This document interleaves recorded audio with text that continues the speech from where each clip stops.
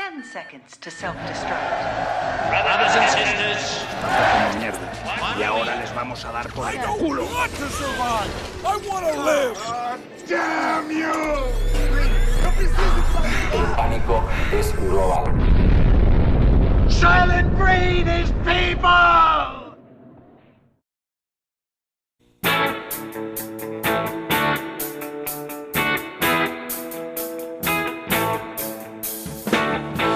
Saudações aos sobreviventes! Bem-vindos a Um Dia Depois do Fim do Mundo, o único podcast em que a gente vê filmes para saber o que, que eles nos dizem sobre o futuro da humanidade. É, meu nome é Ellen, aqui no Bunker 002, e tô novamente aqui com meu amigo Rafael, Olá, que achou gente. que os Jogos Vorazes desse ano foram muito mal filmados, né, Rafa? Foram bem mal filmados. Eu tenho umas reclamações, mas eu posso falar durante o episódio, tá? Joia, a gente vai querer saber a sua opinião. E também com a minha amiga Franciele, que vai se voluntariar no lugar do Pita na próxima vez, porque ela ficou com dó. Achei o personagem assim muito Poxa, o irmão mais fraco. velho dele. Bunker 012 se alistando, aquela.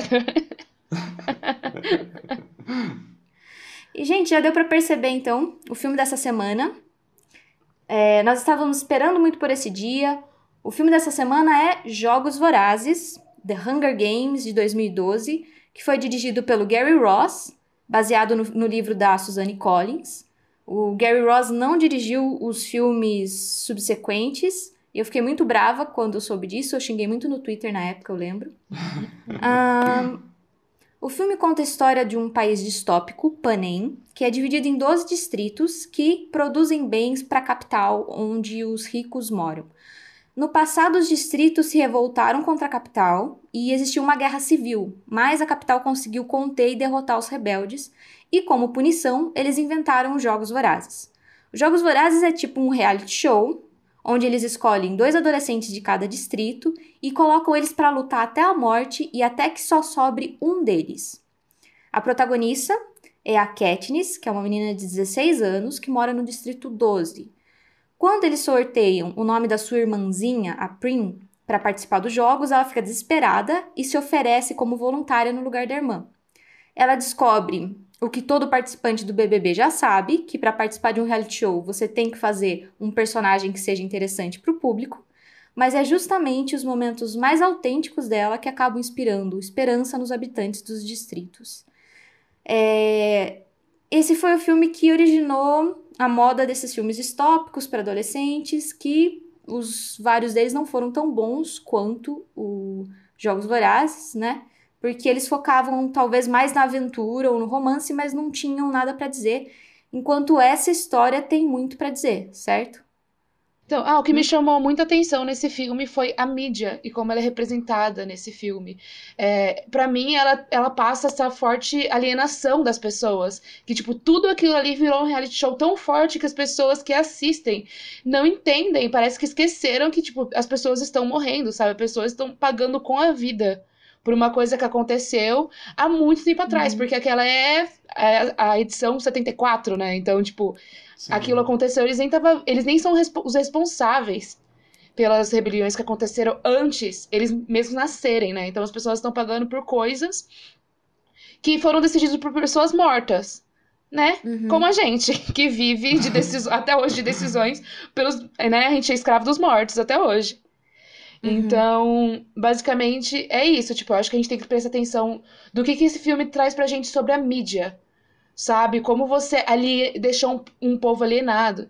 Inclusive, é, eu tava vendo que em regimes onde a mídia ela é muito forte, não precisa ter um controle populacional tão pesado que nem tem em filmes que falam sobre ditadura, sobre essa essa ideia do pensamento, sabe? Esse crime do pensamento. Então as pessoas não são vigiadas tanto quanto nesses, nessas outras, nesses outros regimes. Por quê? Porque a mídia se encarrega de fazer a lavagem cerebral para parecer que tá tudo bem. Tanto que tem um momento no filme. Você vai falar do chuveiro? Posso falar? Pode, pode falar.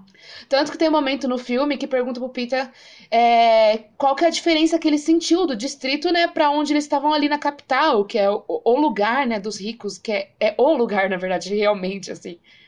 E ele fala, ah, o chuveiro, então, sabe? Ele foi falar de uma coisa insignificante e as pessoas riem. Isso para mim mostra muito dis essa distância de realidade, que essas pessoas que estão assistindo os jogos desconhecem a, re a realidade sabe? Elas estão Uhum. muito longe. Inclusive, na, nas nossas eleições, a gente teve aí, né, alguns artigos e algumas pesquisas científicas falando qual que era o nível de senso de realidade do povo brasileiro. E a gente estava muito baixo. Mas, mas muito, mas muito baixo. Para não falar nulo, inexistente. Então, tipo, que Uhum. vergonha que, que foi essa época, né, e que ainda se estende. Não da mesma forma, mas ruim ainda. Então, Sobre acho- essa cena, a, a cena que ele fala ali do, do chuveiro, é, o que eu tinha notado é essa semelhança com talk shows, sabe? Hum. Então, quem assiste talk shows americanos e vai ali um ator, uma atriz, para fazer a divulgação do filme, tudo aquilo lá, tudo aquilo ali, a gente assiste, tipo, eu, eu gosto de assistir, mas ao mesmo tempo, cada vez mais eu tenho me sentido mal de ver o quanto é, a gente é manipulado por certas coisas pela personalidade, esse culto à personalidade, sabe? É, eles. Toda aquela historinha engraçadinha, que a pessoa tá sendo super carismática, é tudo combinado, sabe, gente? O pessoal, eles, ele, a produção pergunta se a pessoa tem alguma anedota engraçada pra contar. É tudo combinado com os agentes antes, pra não ser falado nada que a pessoa, nenhum assunto que a pessoa não quer conversar.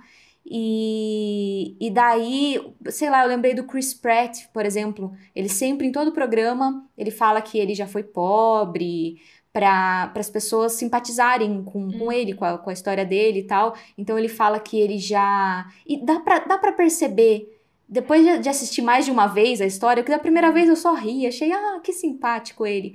Quando você assiste da segunda vez, porque foi engraçado a história, aí você começa a perceber que ele tá atuando também. Então ele tá exagerando certas coisas. Ele fala que ele trabalhou num restaurante e que o restaurante dava comida pra ele e que ele esperava sobrar a carne do, do prato das pessoas pra poder comer, que ele sabe esse, esse tipo de negócio. A maneira como ele conta dá, dá a impressão, fala assim, ele tá exagerando pra ficar engraçado e também para as pessoas simpatizarem, sabe? Então as figuras do, da, da Katniss e do, do Pita você vendo os bastidores e vendo eles tendo que inventar uma história, tendo que parecer simpáticos pro público, me lembrou muito isso. O, o showbiz é dessa maneira, sabe? O entretenimento Sim. americano é assim. É, E ver que- no... E igual no showbiz, essa pessoa também não quer morrer, né? No showbiz, ela perde a fama dela se ela não fizer isso. E nesses Jogos Vorazes, a pessoa morre literalmente. Então ela tá lutando pela vida dela. Por isso que ela meio que tem que se oferecer como um produto mesmo, já que ela foi capturada nessa colheita, é, e se oferecer como produto para esse reality show e andar no jogo. É, no livro é interessante que tem uma personagem que eles colocam lá que não aparece no filme, mas no livro aparece que é a, a Joana, que ela é do Distrito 7, ela foi vencedora de um dos Jogos Vorazes, e ela meio que atuava no começo para ser uma pessoa fraca, que, não, que ninguém ia dar nada para ela, e na hora que chegou na arena ela começou a matar todo mundo e ganhou. Então, assim, é, são estratégias, são estratégias de sobrevivência, e eu acho que, queira ou não, nesse contexto, nesse contexto é muito válido, assim. Gente, eu não sei se vocês separam semelhança com o nosso meio social, com as nossas redes sociais. É, todo mundo se fazendo promoção de si mesmo, cada vez mais distante da realidade, criando um senso de realidade que ele não existe, né? Que ele não é bem assim, deixando outras pessoas que estão fora dessa, desse, desse mundo construído, né? Porque ele não é real. Então, deixando as pessoas que estão fora desse mundo doentes e depressivas, e, enfim, cada vez mais num, num, num poço mais fundo, sabe? Então, é esse negócio de criar realidade, esse negócio de alienar, de construir tudo para vender um produto, ele tá presente em vários meios. E daí, graças a isso, influenciadores, né? Sim. E graças a isso eu queria falar do personagem da Katniss. Né, o que, que ele representou pra mim naquele filme e o que, que ele contou pra mim que seria a melhor forma de se ser no meio desses, né, desses sistemas, a melhor forma de ser no meio desse sistema. Porque se você for reparar, ela é uma das únicas que pergunta, que questiona as coisas que estão acontecendo e ela não confia logo de cara, tipo, critica um pouco mais as coisas. Então, quando vão colocar aquele chip dentro dela, estão colocando dentro de todo mundo sabe? E todo mundo faz só um ai, não sei o quê. Quando chega nela, ela, o que, que é isso? Sabe? Então, esse, esse personagem dela que ele demora pra confiar, mas ele é humano. Então, tipo, não é que ela não confia e ela é dura e ela é rígida. Não, ela demora para confiar, porém ela é humana, ela sente, mas ela espera, ela tem um tempo, ela não fala no calor do momento. Ela não é a gente nas redes sociais se fazendo de sabedores de tudo, já comentando ali no calor da emoção. Não, se pensar. Tanto que a gente, do jeito que a gente tá vivendo agora, eu acho que é um, uma coisa importante pra gente pensar esses, esse nosso comportamento, sabe, diante das coisas. Questionar com mais calma, esperar, ouvir e pensar, não só aceitar, processar a ideia, né? Acho que a gente tem que ser. Enfim, dá pra gente refletir a forma que a gente é, e acho que a gente podia ser um pouco mais calmo em relação às coisas, sabe? Vendo como a gente tá agindo, interagindo com os outros. Então, para a gente pensar como a gente tá agindo nas redes sociais. E acho que tudo, tudo faz a gente, a gente refletir, né? Não que ela seja um modelo a se seguir, mas eu acho que a gente assiste as coisas. Inclusive, gente, curiosidade. O ser humano, a gente, tem esse mecanismo de observar muito o outro, né? E, e julgar, já olhar e já ter os preconceitos, né? Que o problema do preconceito não é você ter ele, é você levar ele para frente, é você ver, pegar ele como verdade, né? E não se questionar porque você tem esses, os preconceitos. Isso, na verdade, pode ser usado, a forma mais saudável de ser usada, como um mecanismo de melhora. Sim. Você observar o outro para decidir o que você quer ou não ser, não condenar. Então, fica aí essa, essa curiosidade psicológica nossa que a gente poderia usar por uma coisa melhor. É, eu acho que isso é interessante que você falou da mídia, porque a mídia dá essa sensação de falsa liberdade mesmo, né? Então, tipo, em 1984, que a gente já fez um episódio aqui no canal, então, por favor, ouçam também. É, a gente tem um governo muito mais é, autoritário, igual você falou, que não te dá liberdade alguma, né?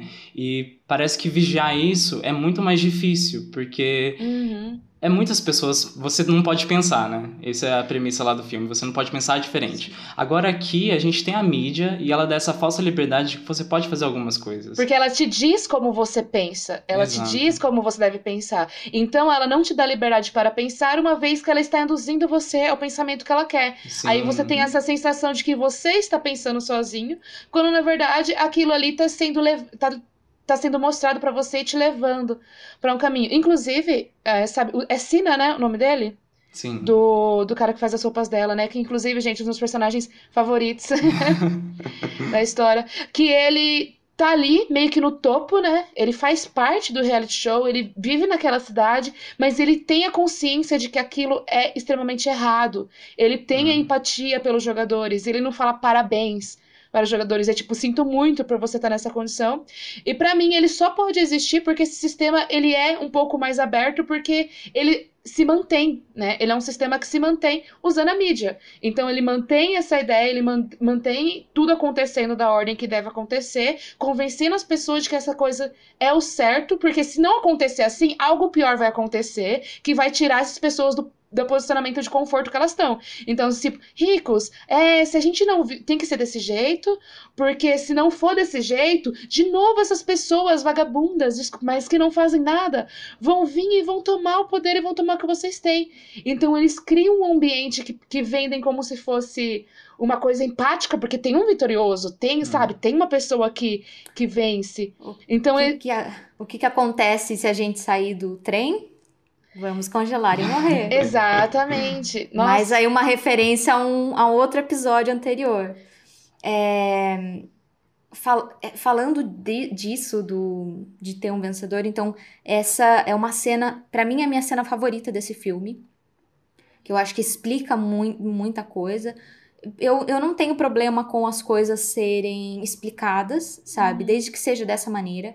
Porque eu acho que as pessoas são muito. se fazem de desentendidas às vezes. Então é bom que saia da boca de um personagem, às vezes, qual é o, o, o motivo que as coisas e mesmo assim muita gente não entendeu, Tem uma hein? cena. Tá valendo muitas críticas, meu Deus. É.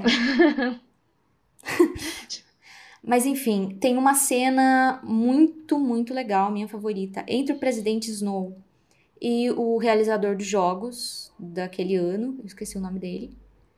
É, mas ele, ele chega e fala assim, logo depois ele ter dado uma nota alta pra Katniss, porque a Katniss fez uma gracinha lá e, jo- e jogou uma flecha numa maçã que tava perto dele ali, é, ele achou engraçadinho e isso deu uma nota alta pra ela.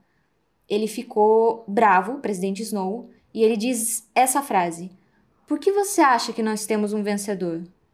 Se o objetivo é só intimidar os distritos, por que, que não escolher só 24 deles e executar todos de uma vez? Aí o cara fica meio assim, ele fala: esperança é a única coisa mais forte do que o medo. E isso, essa frase para mim define tanto exatamente o que vocês estão falando. Por que, que eles não precisam é, controlar com uma câmerazinha o tempo todo, todas as pessoas ali?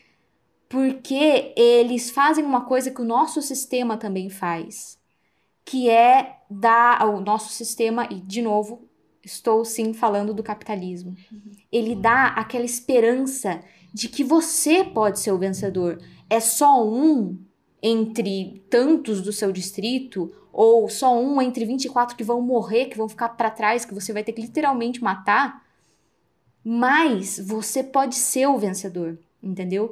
E esse vencedor não é à toa que eles fazem todo aquele espetáculo, tipo a lá Big Brother, que eles apresentam antes do programa começar, é exatamente assim que o Big Brother faz. Antes do programa começar, eles apresentam todos os candidatos e tem o burburinho, nossa, quem que vai ser os novos candidatos? Quem que vai ser os novos tributos? É exatamente assim. Depois que tem um vencedor, eles fazem todo uma uma viagem que os, os vencedores têm que fazer para se mostrar para os distritos, para a capital. Eles são considerados celebridades agora, porque eles são os vencedores dos Jogos Vorazes não é exatamente o que acontece num reality show como o Big Brother, agora fazendo uma, uma, uma comparação é, é, exata com o Big Brother, porque é uma coisa que a gente estava discutindo, né, entre a gente. É, eu vou criticar agora, gente, o, a edição, é, essa edição do Big Brother e a atenção que ela recebeu, tá? Eu sei que não é uma, uma, uma opinião, é uma opinião bem popular, porque o pessoal gostou bastante dessa edição e porque teve o que as pessoas acharam que tiveram essa, essa parte mais social, foi discutido, entre aspas, machismo e racismo dentro desse programa e as pessoas acharam algo positivo. Eu não acho, e eu posso explicar o porquê. Eu não acho que, porque para mim é exatamente o que eles fizeram ali com nos Jogos Vorazes, entendeu? Eles fazem, pensa bem, um sistema que ferrou essas crianças é, no caso os Jogos Vorazes, eles passam fome, tem desigualdade social. Agora, quando a Katniss chega no programa para fazer entrevista, ele pergunta como, se ele tivesse dó dela sobre a irmãzinha. E a sua irmãzinha? Aquilo ali ninguém está realmente preocupado com a irmã dela ou com a, o sofrimento dela eles é, dá um, um, um, gostinho de ver aquele sensacionalismo, de acompanhar a história dela e de torcer pela Katniss. Eu acho que quando você vê uh, ou uma mulher que sofre machismo, ou um, um, cara, um homem negro que sofre racismo, e você torce para ele dentro de um reality show e tem aquela sensação de, ah, pelo menos a, o bem venceu. Eu acho que foi uma, uma moça negra que venceu essa, essa edição, uhum. né? é, e fala assim: ah, mas pelo menos, olha, ela ganhou e é uma coisa boa. Para mim não é uma coisa boa. Para mim é exatamente os jogos vorazes distraindo você do fato de, de que a, aquela emissora, aquele programa, aquele entretenimento todo faz parte do sistema que oprimiu essas pessoas, que oprimiu esses grupos, entendeu? É, e, e daí, enquanto a gente tá ali de uma maneira é, superficial, torcendo para essas pessoas e sendo distraídos por tudo isso, a gente não tá vendo o problema real, sabe? É... E, e, de novo, o capitalismo daquela pessoa que venceu. Aquela pessoa ganhou um prêmio em dinheiro. Mas caramba, e as outras pessoas que ficaram para trás, que é justamente por esse sistema que oprime, sabe? É, é, o, o, capitalismo ele, ele coloca geralmente pessoas pobres e negras, aquelas que vencem, vencem entre aspas na vida, muito numa vitrine. Então, geralmente são pessoas que estão ligadas à, à arte ou ao esporte, sabe? E por quê? Porque são os lugares de entretenimento, os lugares onde outras pessoas estão vendo e falam: olha, aquela pessoa venceu com talento e esforço. E às vezes sim, a pessoa tem muito talento, e às vezes a pessoa se esforçou muito, mas por que que essas, justamente essas são as exceções que são feitas, sabe? Entendeu? As pessoas que mais aparecem, tem aqui tinha aquele programa do, da MTV onde os rappers ou pessoas assim mostravam a sua mansão.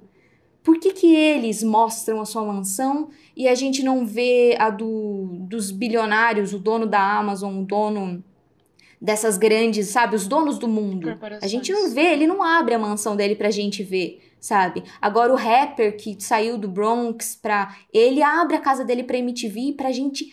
Pra mim, isso é proposital, sabe? Que é pra gente ver e falar assim. Ah, ele venceu, o sistema funciona, tá vendo? Esperança, gente. É mais forte do que o medo, entendeu? É assim que eles manipulam. E eu acho que, que isso é, é real, entendeu? Não é nem, nem ficção. É, é, é o que acontece na vida real, sabe? É, e assim, é não que ela esteja falando, tipo, que é os rappers, as pessoas, essas pessoas são ditas como as que venceram, né, que façam isso, gente, não. Ela tá criticando de fato esse, Não. esse sistema que ele funciona assim e a gente Uhum. não percebe e muito provavelmente as as pessoas. pessoas. que trabalham lá também não percebem. Sabe? Não todas. Eu acho que. Porque é aquilo que a gente viu, tem o, o apresentador nos Jogos Vorazes, tem o apresentador do programa, que ele gosta do que ele faz. Ele gosta do programa dele. Pra ele, ele tá fazendo um bom show. Mas tem um Snow, que é aquele que sabe. É aquele que tem a consciência. Talvez no mundo real, essa pessoa a gente não saberia quem é. Né? No filme, eles podem mostrar. Mas o- aqui, na nossa vida, talvez a gente não saiba quem são essas pessoas que estão por trás dessas outras pessoas que de fato sabem o que estão fazendo, sabe? Enquanto tem outras que estão apenas para elas, elas estão apenas fazendo o trabalho delas da melhor forma possível. Então, tipo, acho que por isso que se questionar é- é importante. Eu particularmente não gosto de assistir muito reality show, porque eu não sei se vocês já perceberam, se você começa a assistir, você não vai parar de assistir, é um ciclo vicioso e ele, pra mim, ele, porque ele, ele joga meio sujo, ele te pega pelas beiradas, sabe? Ele não te pega pela racionalidade, ele te pega pelas suas questões biológicas, pelas suas curiosidades biológicas. Então, pra mim, eles voltam a gente a um estado mais animalesco e brincam com isso, sabe? Então, tipo, eles não estão falando pro seu racional. Reality show, eles não, não é a conversa com o seu racional, sabe? Ele é uma conversa com outro estado de você. Isso na minha percepção, tá? Isso é uma coisa assim, uma avaliação, uma, uma análise minha. Então, por causa disso, eu já prefiro, eu já mantenho uma certa distância.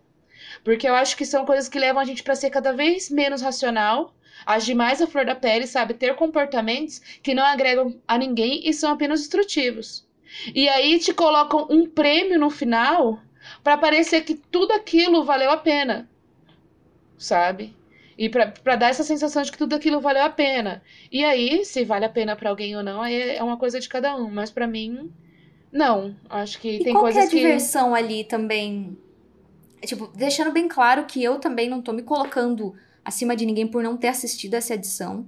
É, eu não assisti de propósito, porque eu sei que eu viciaria muito Exato. fácil. Eu vicio muito fácil em E pro- tem- entretenimento. Tudo que é tipo de entretenimento bobo, eu, eu vicio muito fácil. Então foi só por isso que eu evitei. Porque eu sei que eu sou tenho disposição a, a, a- a esse tipo de coisa. O que, o que, que a gente vê de tão interessante ali? Tem muitas das partes que a gente acha em- eh, eh, né, que entretém a gente, que é ver eles sofrerem mesmo, sabe? Não tem essas, essas provas em que a pessoa fica lá sem comer, sem ir no banheiro, tem um negócio de comida, tem as coisas lá, a gente vê o pessoal sofrer ali, sabe? O próprio, você colocar pessoas, e isso reality shows fazem, se você for ver, dá uma olhada sobre pessoas que participaram de reality shows do tipo ídolos, do tipo o X Factor, essas coisas assim, pessoas que participaram até um certo ponto, até o próprio Masterchef. Eu não vi o, o- nenhum, nenhuma pessoa brasileira, mas dos gringos eu vi várias pessoas dando depoimentos do que, do que, que acontece. Eles percebem que os produtores, tem várias coisas que eles fazem para manipular pessoas ali. Mas eles, os produtores, por exemplo, em um, acho que foi um Masterchef, que eles colocaram, eles não escolheram as pessoas mais talentosas ali, exatamente as mais talentosas. Eles escolheram, por exemplo, uma pessoa que era super, tipo, um fundamentalista cristão, tal, que era super preconceituoso, e colocaram junto com um cara que era gay, sabe? Porque eles sabiam que ia dar treta, que ia dar, sabe, briga ali, e é isso que eles querem. Então, essas pessoas, ele- elas são escolhidas já pra, pra entreter, pra brigar ali dentro e pra ser divertido de assistir, sabe? Então é de propósito. A gente quer ver essas pessoas sofrerem Porque não vai, não vai ter nada positivo daquilo. As pessoas vão sofrer ali, vão brigar pro nosso entretenimento. Que é o que? Jogos Vorazes. Não chegou ainda a pessoa se matando, mas não sei até que ponto, sabe, a gente não chegaria. Então, que é eu não sei até que ponto é assim no, nos realities, né? Não, não, vi, não vejo, não procurei como eles são construí tão construídos assim, não sei muito bem sobre como eles são feitos, mas de uma coisa eu sei, que a gente tem um prazer muito grande de ver alguma coisa que parecia impossível se tornar possível.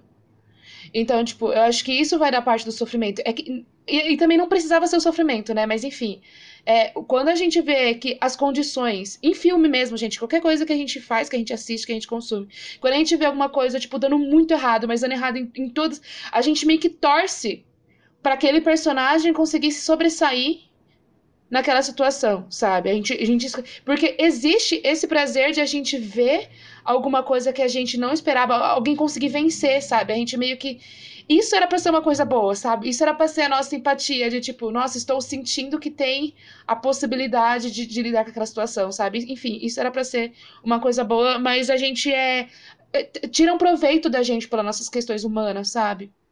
Então, brincam com isso. E eu não, isso que eu não, não sou muito a favor. E é o que a Annie falou, isso não quer dizer ser melhor ou nem pior que ninguém. Eu acho que são, são posicionamentos nossos, pela saúde nossa, e, enfim, por várias que- questões nossas, assim, escolhas, né?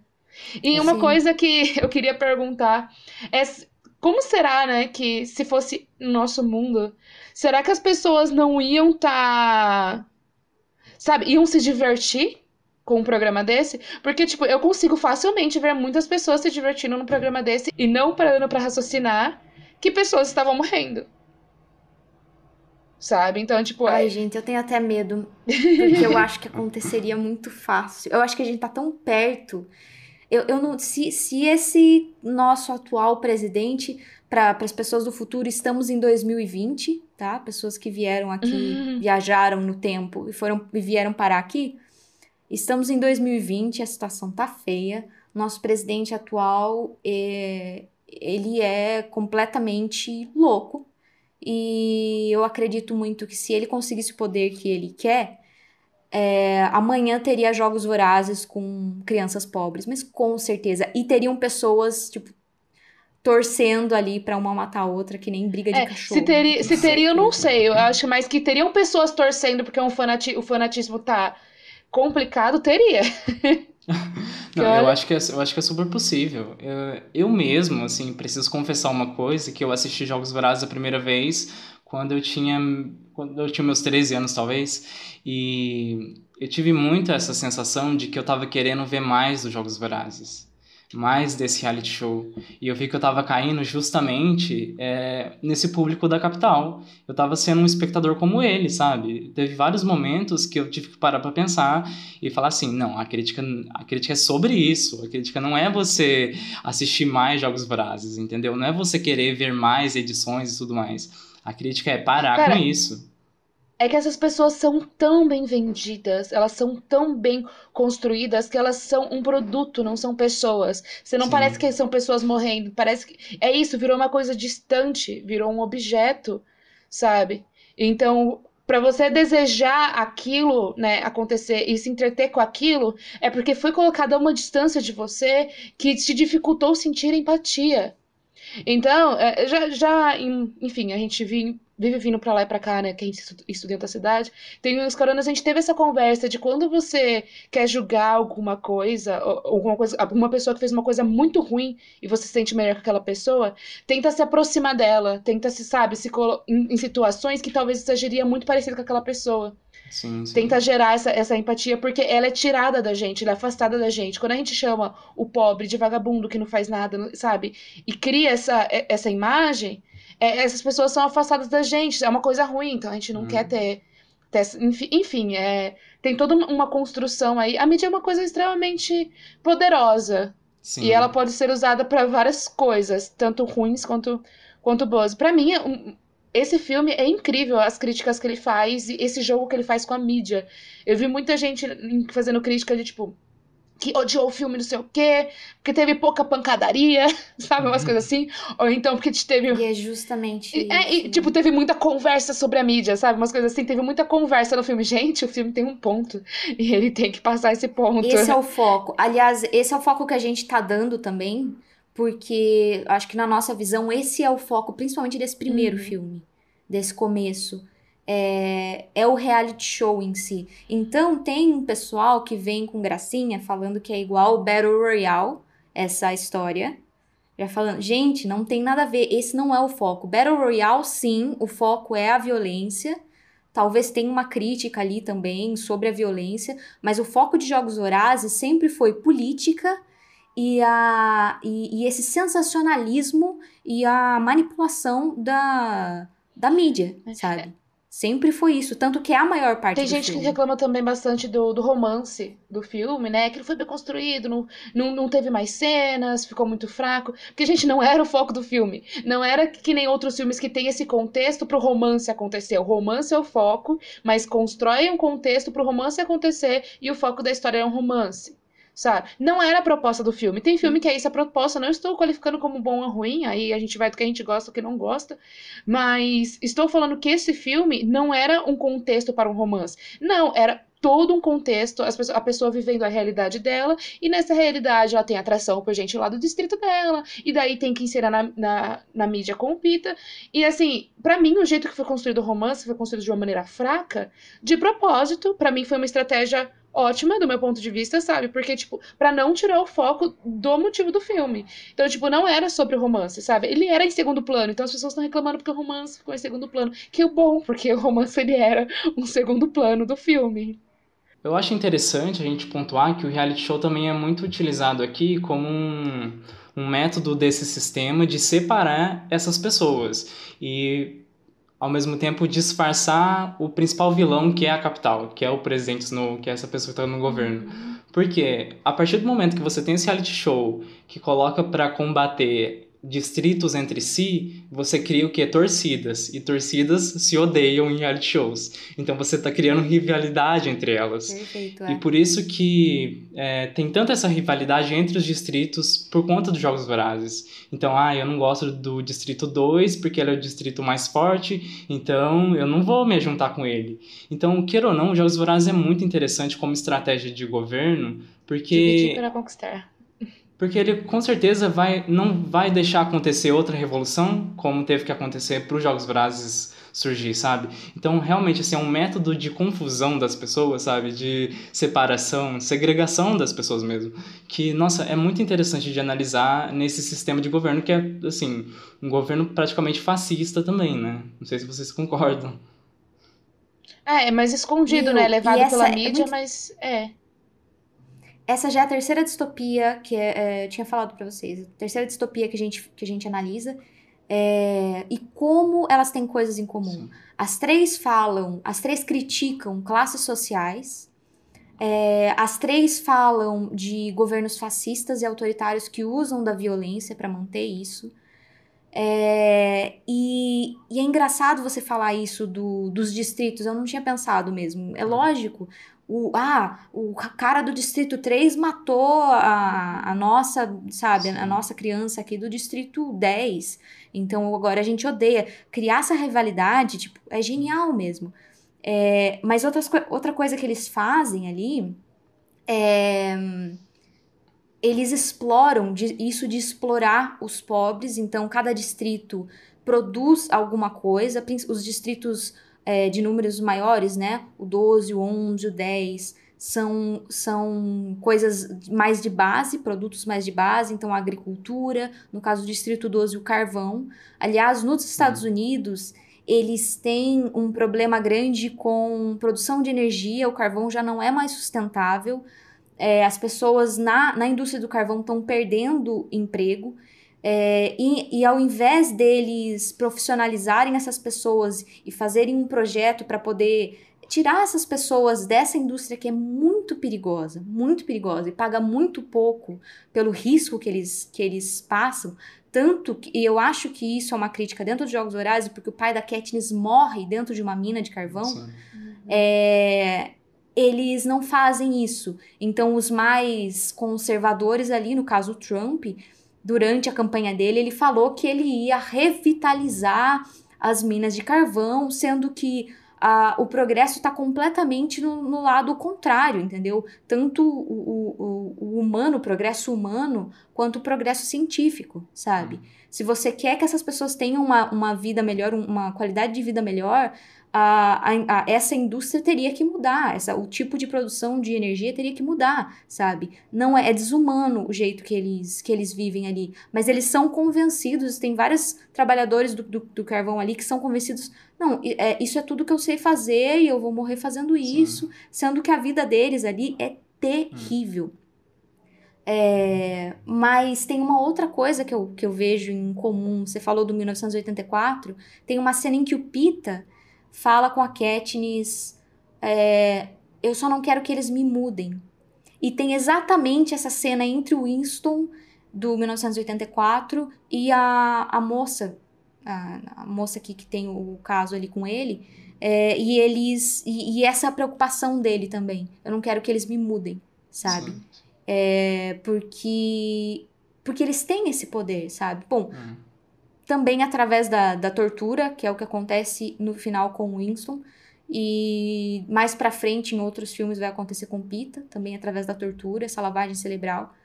Mas é engraçado como essas distopias criticam as mesmas coisas, falam das mesmas coisas, né? Sim, sim. Pobreza, a, as classes.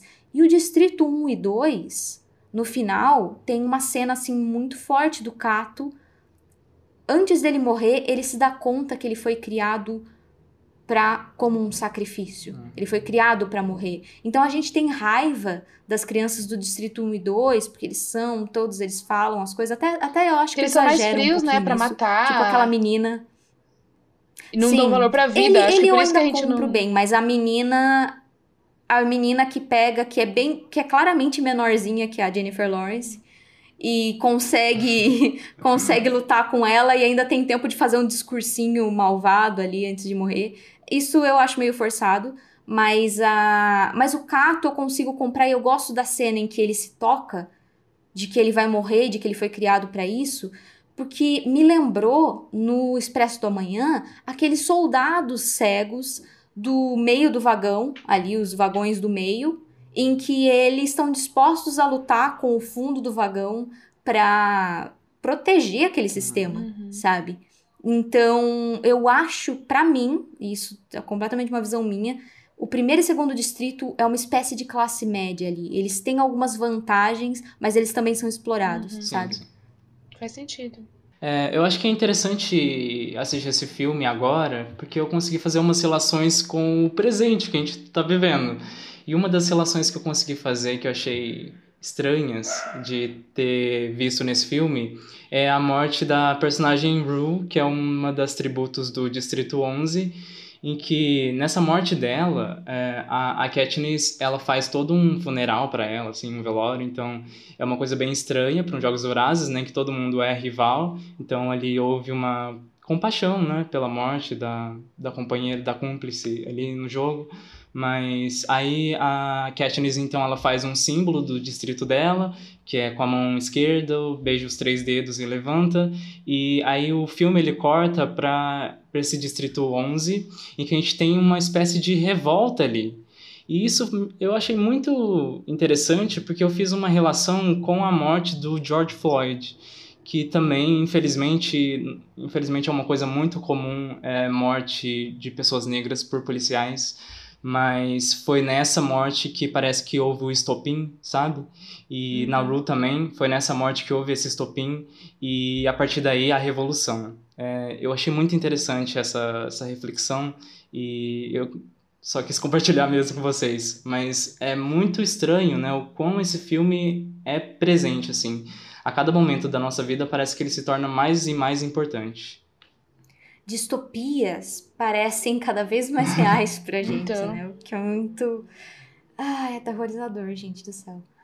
Um, gente, um, agora eu queria fazer uma pergunta para vocês, para deixar a gente falou de várias coisas pesadas, mas importantes.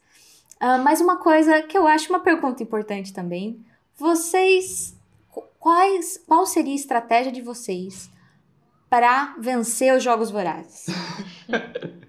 o que vocês acham? Eu acho que eu posso começar, porque eu, eu, eu gostaria de falar que eu seria tipo a Katniss e gostaria de sobreviver e seria a vencedor, a vencedora de tudo, mas eu acho que isso não aconteceria na realidade. Primeiro que eu, primeiro que eu não sei manejar uma arma, não tenho habilidade nenhuma com isso, correr, não sei também, enfim. É, eu acho que eu estaria mais pra a cara de raposa, aquela menina ruiva, sabe, do Distrito 5. Que ela é a que foge. ela é a que foge, vai se esconder. Ela é muito Sim, é esperta. esperta. Então eu acho que talvez eu seria o tipo de pessoa que pegava uns livros pra descobrir ah, onde achar alimento, qual alimento eu posso comer, não sei o quê. Mas provavelmente ia morrer igual ela, sabe? Comendo uma amora venenosa, amora cadeada. e tchau. Apesar que eu acho que morrer Prestar é muito melhor amores. Do que sobreviver aos Jogos Vorazes. Porque, porque eu acredito que a pessoa deve ficar tão transtornada depois de vencer um negócio que você teve que matar todo mundo. Então talvez morrer lá dentro seja a melhor coisa. Então, Sim. aí eu, eu seguiria a estratégia dela mesmo. Cara, então, Você. É, eu- antes- enfim, eu tenho uma irmã, né? E isso é uma coisa minha desde pequenininha. Eu sou mais nova. Só que mesmo assim, tipo, ela tava com medo de escuro. Era a pessoa que falava lá, mano, então, mano, eu vou. Cagando de medo, gente. Cagando de medo. Não tem isso de coragem, não. Cagando de medo. Aí eu vou, não sei o quê. Então, provavelmente, e costumo ser muito racional nas minhas coisas. Então, provavelmente eu ia meio que me preparar. Que eu gosto de me preparar para as coisas. Então, caso aconteça, eu gosto de estar pronto. Então, sim, eu provavelmente me prepararia, treinaria para os Jogos Vorazes. Não ia conseguir estar muito boa, ou seja, eu ia morrer, tá?